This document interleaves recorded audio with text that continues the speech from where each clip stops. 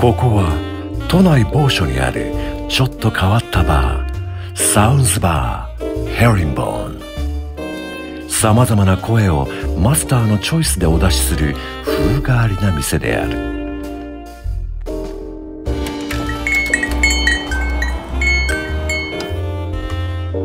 今宵も声を求めて一人の常連客が来店する。こんばんはマスター。いらっしゃいませ。今宵はどのような声をご希望ですか？そうね。大きくて頼りがいのあるお父さんの背中のような安心できる声をお願いしようかしら。かしこまりました。ではこちらなどいかがでしょうか？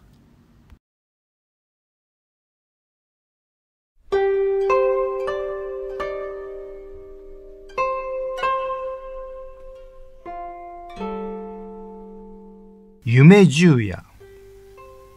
夏目漱石。朗読平川和弘。第九夜。世の中がなんとなくざわつき始めた。今にも戦が起こりそうに見える。焼け出された裸馬が夜昼となく屋敷の周りを荒れ回るとそれを夜昼となく足軽どもがひしめきながら追っかけているような心持ちがする。それでいて家のうちはしんとして静かである。家には若い母と三つになる子供がいる。父はどこかへ行った。父がどこかへ行ったのは月の出ていない夜中であった。床の上でわらじを履いて黒い頭巾をかぶって勝手口から出て行った。その時母の持っていたぼんぼりの火が暗い闇に細長くさして生垣の手前にある古いヒノキを照らした。父はそれっきり帰ってこなかった。母は毎日三つになる子供に「お父様は?」と聞いている子供は何とも言わなかったしばらくしてから「あっち!」と答えるようになった母が「いつお帰り?」と聞いてもやはり「あっち!」と答えて笑っていたその時は母も笑った。そうして「今にお帰り」という言葉を何遍となく繰り返して教えた。けれども子供は「今に」だけを覚えたのみである。時々は「お父様はどこ?」と聞かれて「今に」と答えることもあった。夜になって辺りが静まると母は帯を締め直して鮫座屋の担当を帯の間へ刺して子供を細帯で背中へ背負ってそっとくぐりから出ていく。母はいつでも草履を履いていた。子供はこの草履の音を聞きながら母の背中で寝てしまうこともあった。土塀の続いている屋敷町を西へ下ってだらだら坂を降り尽くすと大きなイチョウがある。このイチョウを目印に右に切れると一丁ばかり奥に石の鳥居がある。片側は田んぼで片側は熊笹ばかりの中を鳥居まで来てそれをくぐり抜けると暗い杉の木立になる。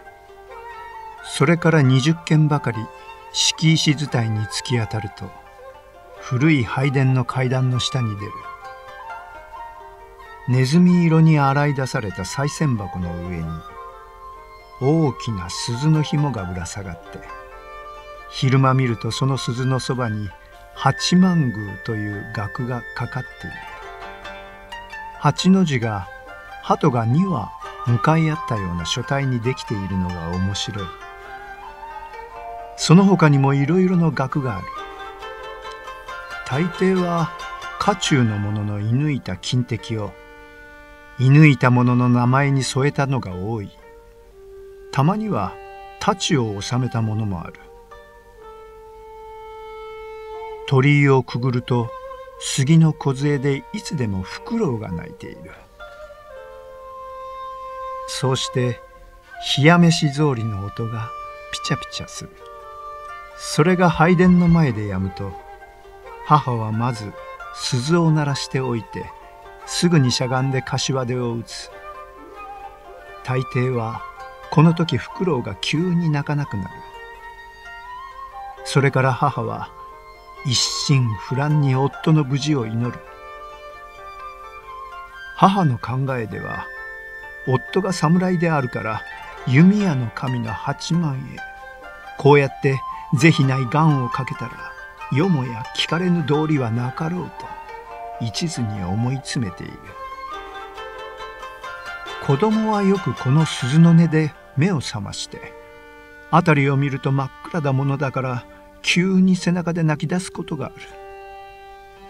その時母は口の中で何か祈りながら背を振ってあやそうとする。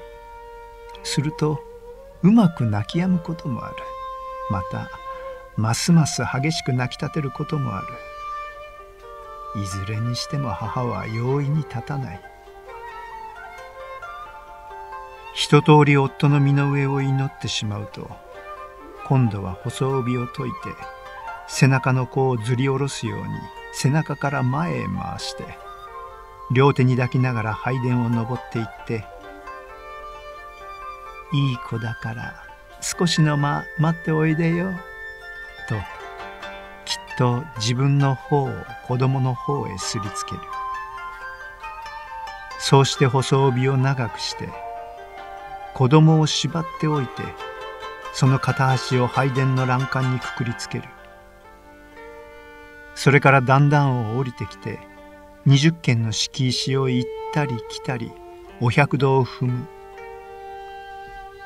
拝殿にくくりつけられた子は暗闇の中で細帯の竹の許す限り広縁の上を這い回っている。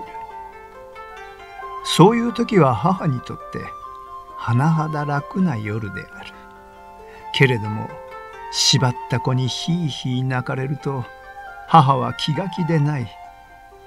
お百度の足が非常に速くなる。大変息が切れる。仕方のない時は中途で拝殿へ上がってきていろいろ透かしておいてまたお百度を踏み直すこともある。